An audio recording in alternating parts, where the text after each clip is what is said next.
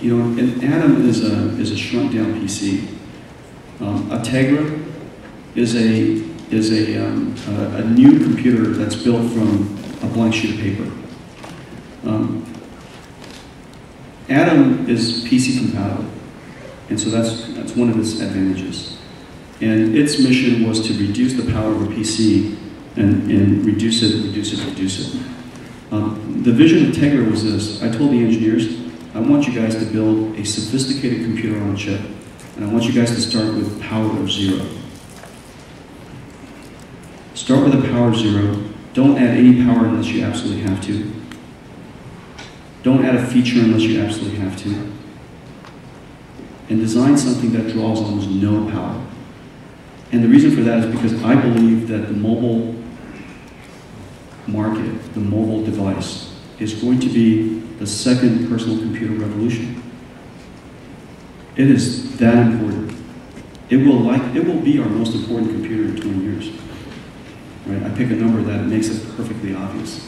20 years from now, it is perfectly obvious. It will be our most important computer. Well, if that's the case, um, and we realize that it is very rare for discontinuities to come from the top. Do you notice that a mainframe is not, our personal computer is not a shrunk down mainframe? Because the market is completely different, values completely different things, it doesn't need all the, the benefits that were created on the top.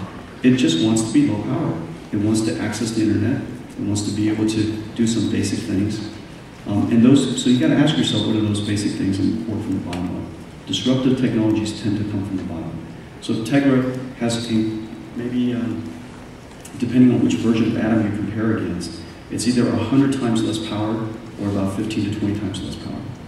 That's a huge discontinuity. To be 10 times better at anything is pretty amazing. Okay. So that's, that's the first thing. The second thing, and also I believe that, that um, ARM and the internet doesn't care about the x86. Okay. Mobile and internet doesn't care about x86. Nothing numbers.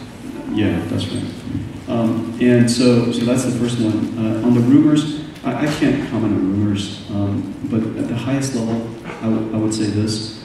Uh, we're one of the few companies in the world that is investing billions of dollars in the advancing of visual computing platforms.